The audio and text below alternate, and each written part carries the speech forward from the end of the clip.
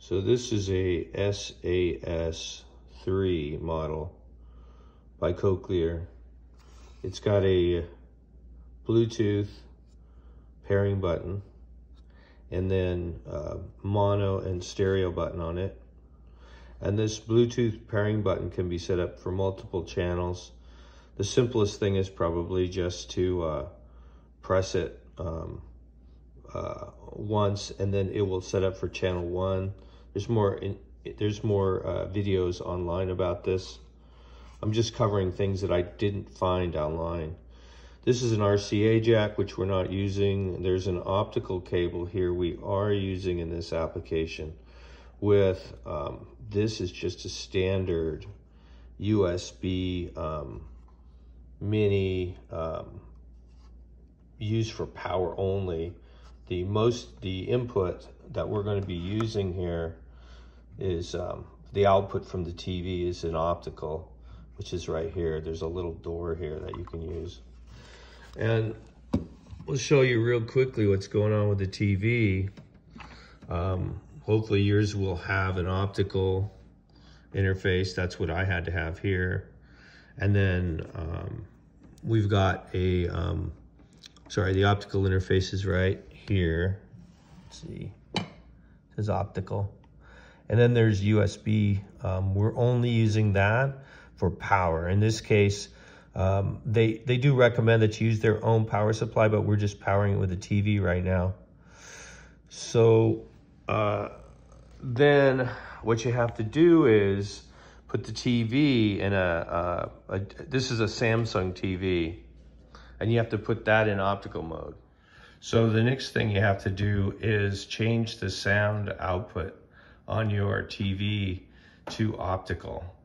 And by default, it's set to speaker, not optical.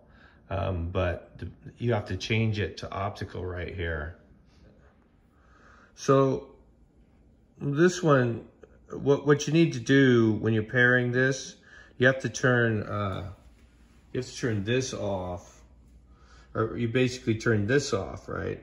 And then you press this uh, button here.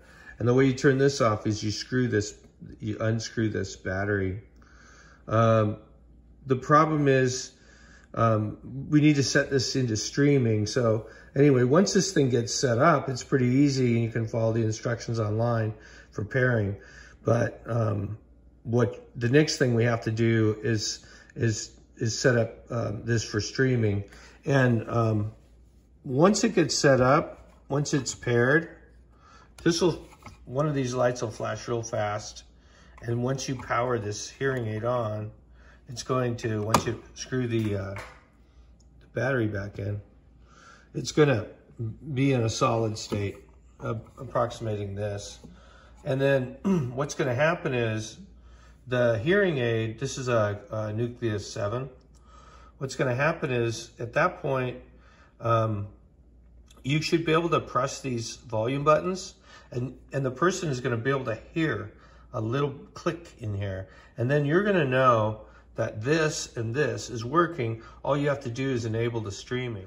The next step to enabling the streaming, what you have to do is press this button here. And you see how it has TV mode and uh, on or off.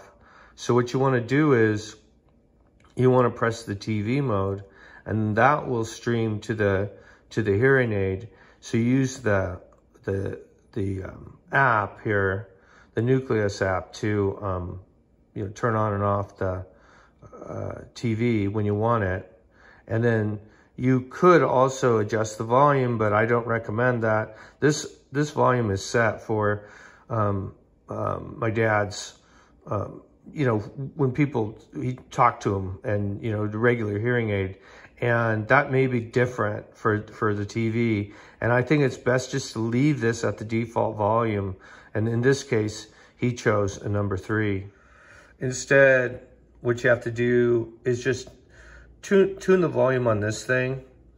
Um, that's what you're gonna have to do. And it probably will just stay where it is. There is a remote for this, but you probably don't need it.